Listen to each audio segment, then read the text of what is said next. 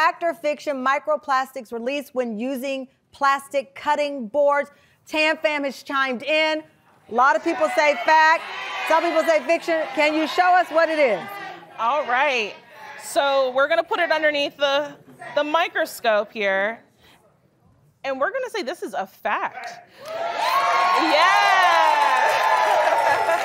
so you can see, you know, the most obvious point is the moment that you're cutting, yeah, when you're cutting and putting all those lines into a cutting board, that's the most obvious indication that you're introducing plastic particles to your food. Yeah, so if you're really worried about it, try to use a different cutting board or you know wash off your food after so you so she said it. like wood bamboo. Yeah stainless steel granite. There's lots of options. We've got options. We've got options and we're going to use them